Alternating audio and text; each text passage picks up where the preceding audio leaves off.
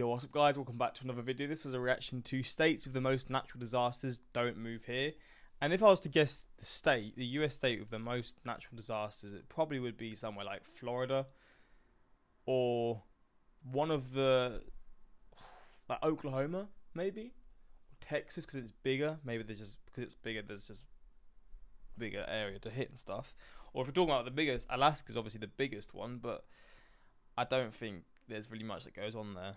But um, I mean, California, you got like earthquakes and stuff, but I don't know how common that is. Storms throughout the US, hurricanes throughout the US, tornadoes throughout the US. Like, there's different possibilities. Will like a snowstorm count as a natural disaster? I assume so, but um, maybe not. But yeah, if I was to guess, I'd say either Florida or one of the southern states, or something like Oklahoma or Kansas, something like that. But we're gonna check this out and see or maybe like New York, because there's like flooding and stuff as well. Like there's many different things that happen throughout the US. But yeah, if I was to say top three, number one, I feel like I'm gonna be so wrong. Number one, Florida. Number no, oh Louisiana. Number one, Louisiana. Number two, Oklahoma. Number three, Florida. Number four, New York. There we go. That's our predictions. You know how sometimes really big things happen in nature that have the potential to really screw up your week? Well, these things are called natural disasters. They happen suddenly, wow. and they can wreck things like buildings, land, even people's life. In the United States, we face various types of natural disasters. Some of the usual ones are floods, hurricanes, earthquakes, tornadoes, wildfires, blizzards, tsunamis, and Gary Busey interviews. Talk about buttered sausage, where it comes from, what it does. This is a subject I'm asked about all the time. If that's something you need to know about, I'm going to give you this video, but there's also a website I go to for a lot of this information. It's replaced Zillow as my favorite website. It's called Where Might I Live? And they got this wish list function. You could put down what you require. You don't want a bunch of natural disasters. You want low crime. You want good schools. Put all that in and it spits out which counties in the United States are best suited for your criteria. That's They're not cool. sponsoring this video. I just think it's a pretty cool website. There's a link in the description area below. Anyway, back to the natural disasters. When these disasters strike, they can mess up a lot of things. Houses can be destroyed, and businesses can lose a bunch of money that might take them years to recover from. Now, it's just not the loss of money and housing and all that. Some people go through one too many natural disasters in an area and they decide it's time to move someplace else. I know more than a few people in Southern California that have moved because of the wildfires. Today we're looking at the states that reported the most natural disasters in 2022. Now, I'm also including how many times the federal government declared a natural disaster in a state since they started reporting those in 1953. Got it? Get it? Good. Let's take a look. Number 10, New Jersey. New Jersey. New Jersey number 10, maybe my New York for number 4 wasn't a good shout. I don't know. Also, maybe California and some like one of those states would be higher because the wildfires do go like they're ridiculous there.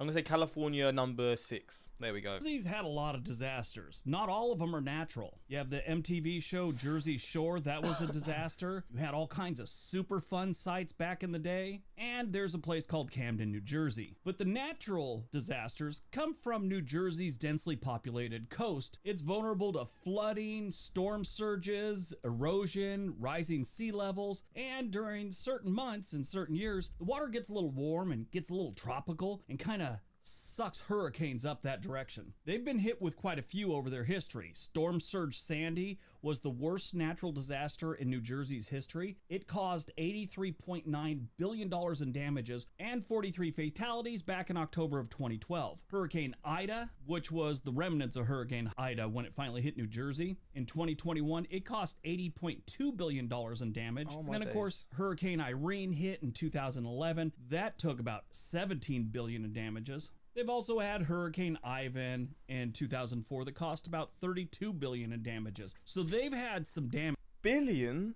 I was thinking, wait, a million, which is still a lot, but a billion. Oh, how do you, these places constantly recover from this sort of stuff? done to them by Mother Nature. The statistics that were released in 2022 were actually 2021 numbers. And that year, New Jersey declared 47 natural disaster areas, which sometimes included calling out the National Guard, things of that nature. Now, when it gets serious, like Superstorm Sandy, Hurricane Ida, and all those other ones, that's when the federal government gets involved and helps out. Every state has a handful of state emergencies every single year. But New Jersey called out 47 in 2021, and the federal government has called out 50 since it started reporting these in 1953. Jeez.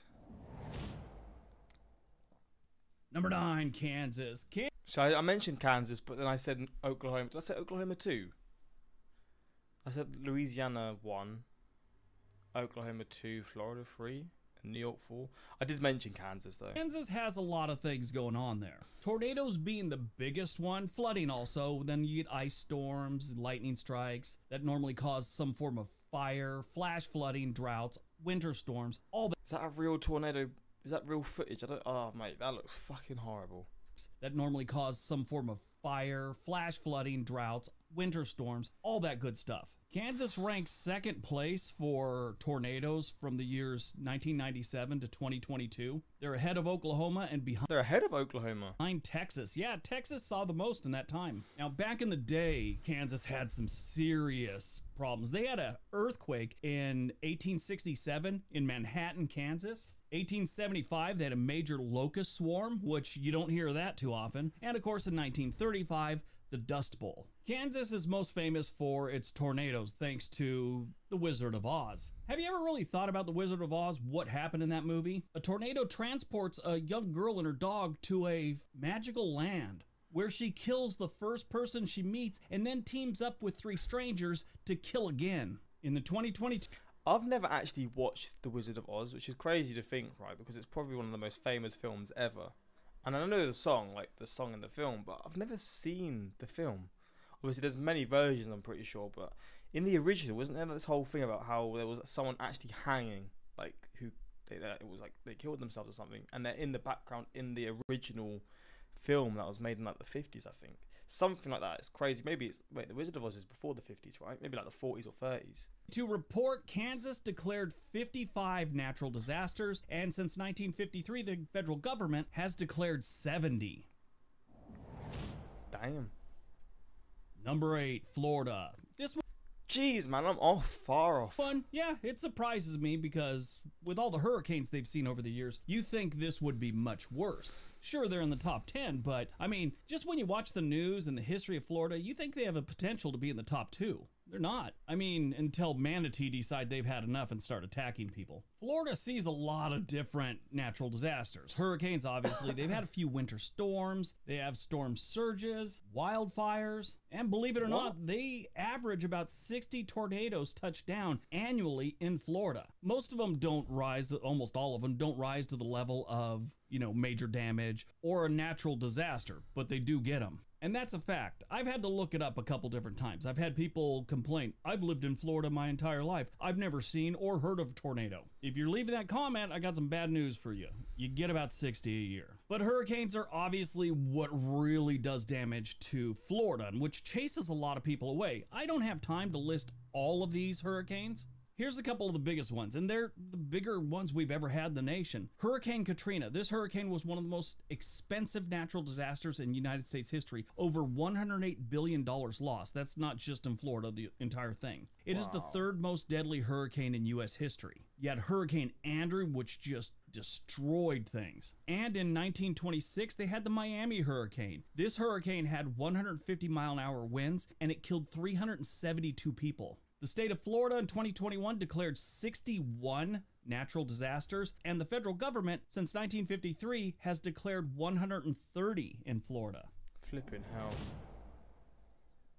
Number seven, New York. Fuck, man. I've had a stinker. Maybe it's because I've spent most of my life on the West Coast. I've never heard of many in New York. I know they get some serious winter weather, but they've been hit by some hurricanes or at least tropical storms that have been devastating. Now, New York shares a lot of the same problems that New Jersey does. I mean, other than Camden. They're right next to each other, so it only makes sense. But they get severe storms, floods, winter storms, wildfire, tropical storms. Wildfires in New York. storms, tornadoes, landslides, and droughts in New York. New York's coastal location makes it susceptible to hurricanes and tropical storms every single year. Now, they don't always make it all the way up to New York, but it seems like every year at least one starts getting a little close and making people nervous. And then on the sad occasions, they hit. Hurricane Sandy, Hurricane Ida, Hurricane Ivan, in 2021, they had a winter storm and cold wave that cost $25.6 billion to the area. They've even had a couple earthquakes. In 1944, they had the Cornwall Massena earthquake, and in 02, they had the Ausable Forks earthquake. But the big ones for New York State are going to be the winter weather. You had the 2004 Christmas Eve winter storm. They had in 07 the North American ice storm.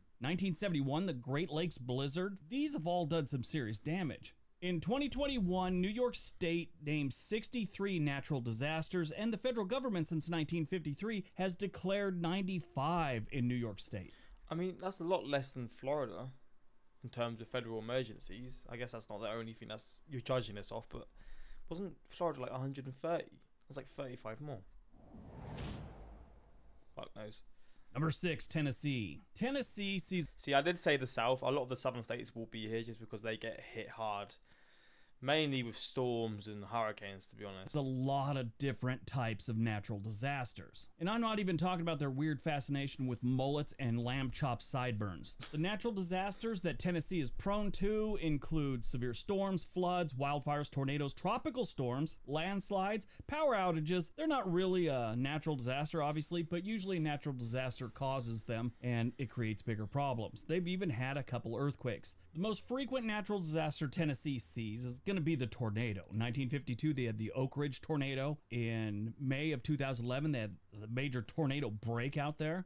Flooding is another big one that happens in Tennessee. They have so many lakes, rivers, streams, creeks, whatever. They've got a lot of water everywhere. It causes a lot of flooding. In 2021, Tennessee declared 64 natural disasters, and the federal government has declared 69 since 1953. damn. Number five, Kentucky. Now it's going to be just southern states dominated. I think. In just the last two years, Kentucky has recorded several billion dollar events. These events include the December tornado outbreak in western Kentucky, that was in 2021, the historic flooding in eastern Kentucky in July of last year, 2022, and the March 3rd windstorm. That one impacted pretty much the entire state. But they see everything severe storms, floods, like I said, tornadoes, winter storms, wildfires, tropical storms get up here occasionally, along with landslides and earthquakes. Earthquakes aren't a really big thing for them, but the tornadoes and the flooding really do some damage to Kentucky. In 2021, Kentucky declared 147 natural disasters, and since 1953, the federal government has reported 74 in Kentucky. I guess maybe these are less, but because the states are smaller, like Florida's quite a big state, right? But these states aren't small states either. I mean, Florida's such a big state. Well, not such. It's a relatively big state. Maybe it's like in terms of proportion to size, it doesn't equate to as much. But they had 130. Then the last few states have had many, like much less, in that time frame. Like much less. Number four, Oklahoma. Damn it, man.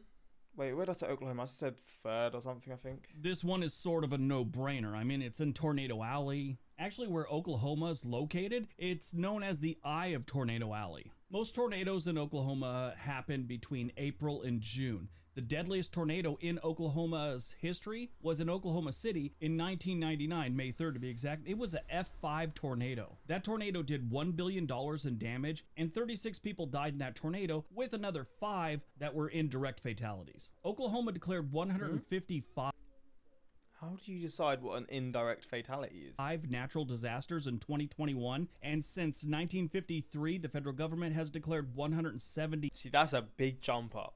Three natural Jeez. disasters in Oklahoma. Number three, Mississippi. Where do you start? So we're starting to get closer to Louisiana, which I did say was first.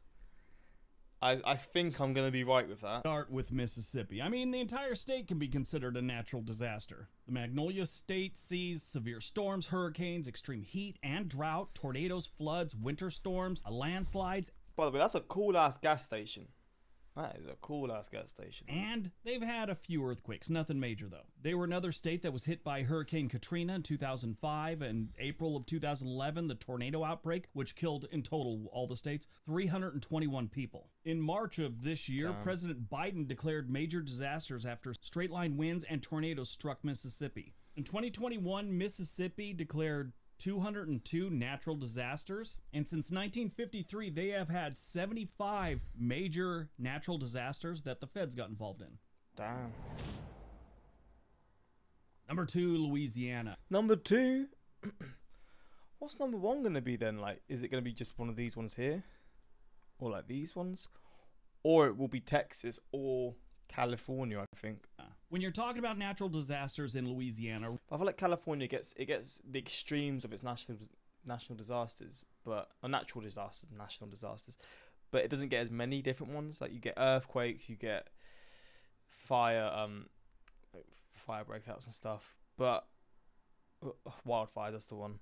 And I guess you'll get like insanely hot temperatures and maybe like droughts and stuff. But do you get all aspects like storms and then hurricanes as well? I don't think so. So maybe it won't be here. right away you're thinking hurricanes. They have been hit by so many hurricanes in my lifetime alone. It's insane. Obviously, the biggest one was Hurricane Katrina in 2005. Katrina's storm surge caused levee failures in New Orleans, flooding 80% of the city. Louisiana didn't get a break. Hurricane Rita hit. This Category 3 hurricane made landfall in southwestern Louisiana less than a month after Hurricane Katrina.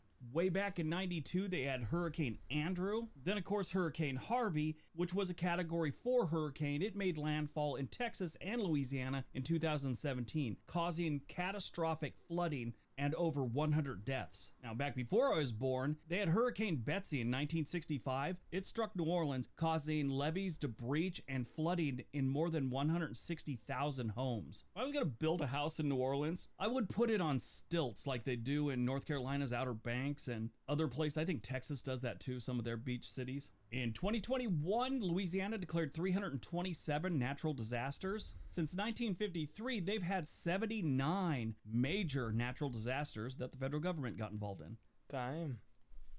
Oh, there's a link down, a few others. All right, on to number one.